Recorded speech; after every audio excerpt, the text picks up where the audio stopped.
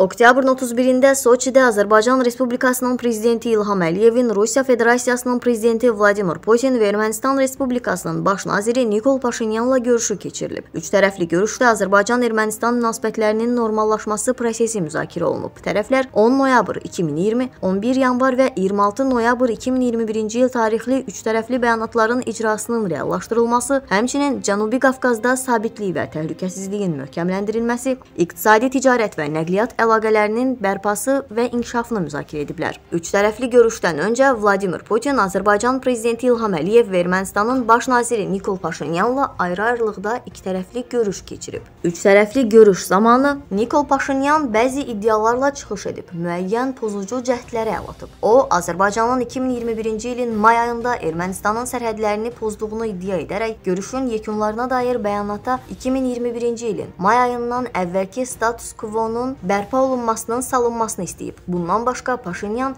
sentyabrın 13 və 14-də sərhəddə baş verən insidentində bəyanatda əksini tapmasına çalışıb. Lakin onun bu cəhdləri nəticəsiz qalıb. Belə olan halda Paşinyan görüşün yekunlarına dair sənədin qəbul olunmasının bloklanmasına cəhd göstərib. Onun bu cəhdi də nəticə verməyib. Rusiya prezidenti Vladimir Putinin də təkidi ilə bəyanat qəbul olunub. Əslində bəyanatdan Paşinyanın pozculuq cəhdlərinin əbəs olmadığını söyləmək mümkündür. Aydın olur ki, sənəddə əksini tapan müddəalar Azərbaycanın maraqlarına cavab verir. Bəyanatda Qarabağla bağlı bir kəlmə belə yoxdur. Bundan başqa Azərbaycan və Ermənistan arasında bütün problemli məsələlərin yalnız BMT nizamnaməsi və 1991-ci il Alma-Ata bəyannaməsinə əsasən bir-birinin ərazi bütövlüyünün və suverenliyinin qarşılıqlı tanınması əsasında həlli razılaşdırılıb. Bundan əlavə Putin üç tərəfli görüşdə razılaşdırılmayan məsələləri açıqlamayıb. Hansı məsələlərlə bağlı razılığa gələ bilmədiyimizi açıqlaya bilmərəm deyə Putin bildirib. Lakin biz öz tərəfimizdən nizamlanmaya istiqamətlənən bütün səyləri alqışlayırıq. Biz gərginliyi azaldan bütün addımları dəstəkləyirik. O ki qaldı